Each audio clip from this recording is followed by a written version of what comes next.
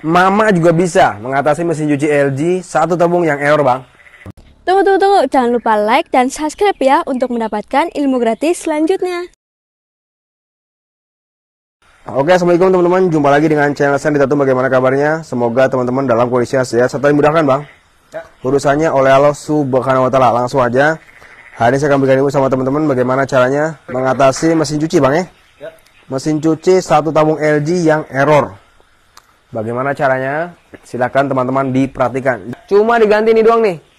Namanya apa? Namanya adalah water level sensor. Kita colokin dulu. Colokin. Kita colokin, pencet power.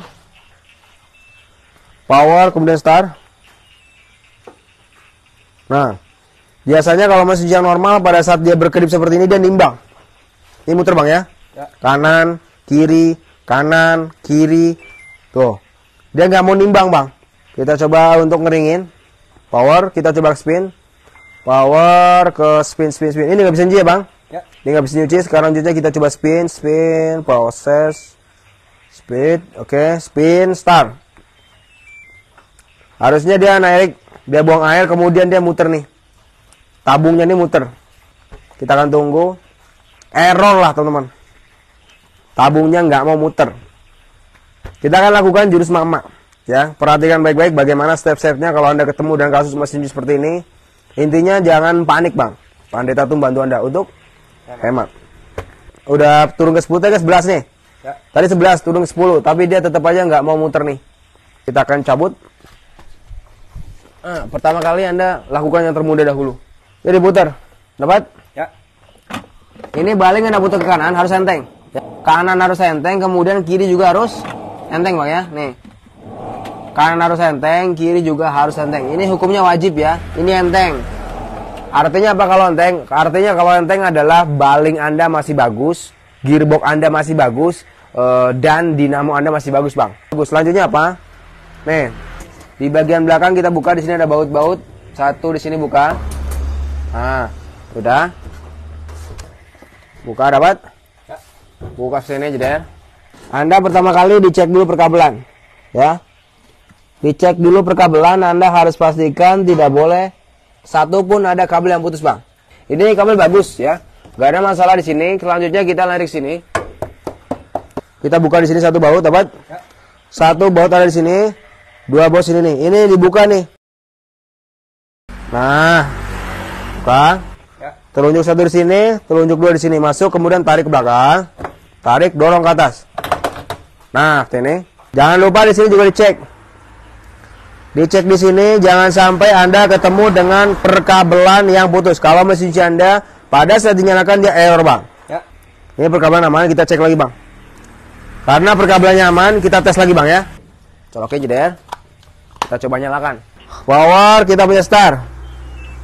Nah, harusnya nimbang dia. Tetap aja ya, teman-teman. Cabut colokan. Kalau masih error juga, cabut colokan. Anda fokus ke barang ini nih. Nih, Anda fokus barang ini nih. Oke. Anda fokus ke barang ini. Teman-teman, tugasannya apa? Anda tinggal ganti aja nih. Ada soket, dapat? Ya.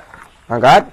Kemudian teman-teman dilepas soketnya nih. Jangan lupa sebelum Anda ngebongkar ini di cekrek cekrek di botol. Ya. Caranya gini nih, tekan ya. Tekan kemudian goyang-goyang, tekan goyang-goyang sambil ditarik nanti dia akan mangap. Nah, tuh. Ya. Nah, seperti ini caranya. Kemudian kita bisa ganti dengan water level kita. Namanya adalah water level sensor. Ya, ini harganya murah kok, cuma puluhan ribu. Tugas pertama yang kita lakukan adalah kita ganti water levelnya. Nih, kita pasang di tempat yang baru. Nah, seperti ini dapat? Ya. Nah, water levelnya tinggal dipasang seperti ini. Nah, ini kalau mesin ada error ya, Anda lakukan jurus ini dulu nih. Di sini ada selang airnya nih. Ini selang air ini adalah selang yang berfungsi untuk mendeteksi ada atau tidaknya air yang ada di dalam. Nah, ini kita lepas. Cepit. Dorong ke belakang. Tet tet tet tet tet tet tet tet tet tet tet. Nah, waktu itu. Cepit dorong ke belakang, kemudian tekan. Tet tet tet tet tet. Nah, pastikan selangnya tidak sobek ya. Pasang aja seperti ini. Masuk seperti ini. Alright. Nah, tekan. Nah, seperti ini. Nah, kita tinggal masuk seperti ini. Sangat-sangat gampang. Kita tinggal rapikan semula. Rapikan, tekan seperti ini. Kluk. Nah, tekan. Ini, tekan. Tekan. Tekan. Nah, pasang. Kluk. Kluk. Kita akan tes. Ya. Satu, dua, tiga, colok. Colokin. Nah, perhatikan di sini. Tadi dia nggak mau muter bang ya? Ya. Tadi dia nggak mau muter kiri, nggak muter kanan, nggak mau nimbang dia. Satu, dua, tiga, power. Start. Alhamdulillah bang ya. Ah, ini kiri. Ah, mantap. Ya kiri. Oke kanan. Oke. Alhamdulillah ya. Sangat gampang ya. Sekarang kita akan coba ngeringin power. Spin, spin, spin, spin. Nah, spin udah, cakep. Spin dapat, kemudian kita ke pencesar bang ya. Start jeder. Nah. Nah, muter bang. Ya. Alhamdulillah.